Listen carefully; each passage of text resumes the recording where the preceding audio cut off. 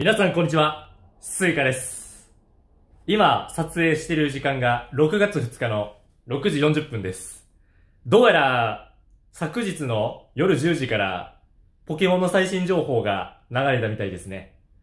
まあ今ちょっと画面にも映っていますが、なんと、今年の11月18日に、ポケットモンスター、スカーレット・バイオレットが発売されるらしいです。いやー、おめでとうっていう反面、え私はですね、もう完全に余命宣告をされたと言っても過言ではありません。というのも、まあ、皆さんおそらく僕のチャンネルを初めて見る方々だと思いますので、簡単にちょっと自己紹介をさせていただきます。まあ、私、スイカと申しまして、普段ポケモンの動画を上げています。で、どういった動画を上げているかというと、この、ここにね、いっぱいポケモンの紙が書かれているんですけど、これをちょっとめくってみると、あー、ちょっと見にくいね。これちょっと月食のネクロズマですね。こういうやつを6枚集めて、で、これをパーティーにして、ランク戦戦って、ここにいるポケモンたちを全員活躍させるっていう企画を、今現在進行形で進めています。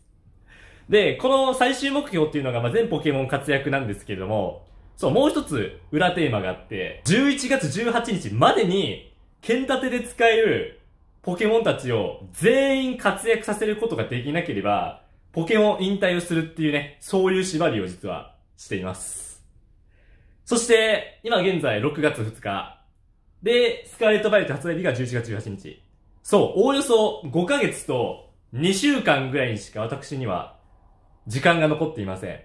で、今現在ですね、まあ、ケンタって確か800匹ぐらい使えてたと思うんですけど、まあ、その中で今現在半分達成しているということで、まあ、大体5ヶ月と半年っていうと、まあ、170日ぐらいですか。170日ぐらいで、まあ、1日に2匹ペースの活躍だったとしても、まあ、ギリギリ、スカーレット・バイレットまでに、まあ、完走しきることができるんじゃないかなって言ったような、まあ、そんな感じの状態です。いや、まあ、そんなことはいいんだよ。12月の発売だと思ったんだよ、俺は。なんで、おい、もう、剣立てと変わらんやん、こんなんもう。いや、ほんまにもう。いや、実はね、あの、剣立ての発売前、ウルトラサンムーンっていうゲームがあったんですけど、その時にもですね、僕、中戦波っていうのを、3DS をね、ポチポチと押しながら、進めていたんですけど、その時っていうのは、1日になんか6匹ぐらいのペースで、もう進めていかないとガチで間に合わなかったんですよね。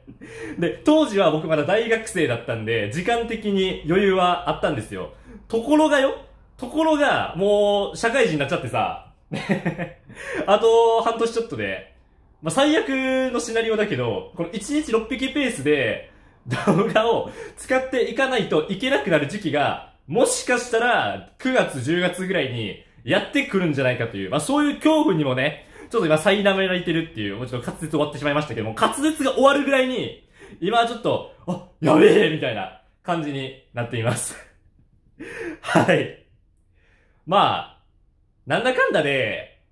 剣立ては昔のシリーズと比べて使うポケモンはだいぶ種類減ってはいるので、そこだけは唯一の救いなのかなとは思っています。はい。まあそういうことで12月の発売じゃなかったことが、まあ若干僕としてはちょっとあんま嬉しくはなかったんですけど、まあ11月ということで、まあ逆に捉えると、予定よりも1ヶ月以上早くね、ポケモンを新しいやつができるって思ったら、まあそれちょっとワクワクしますよね。はい。まあ、活躍できなければ、まあ僕、スカーレットバイトできないんですけど、はい。まあそういうことで、皆さん、残り約170日、ぜひ、応援を、よろしくお願いします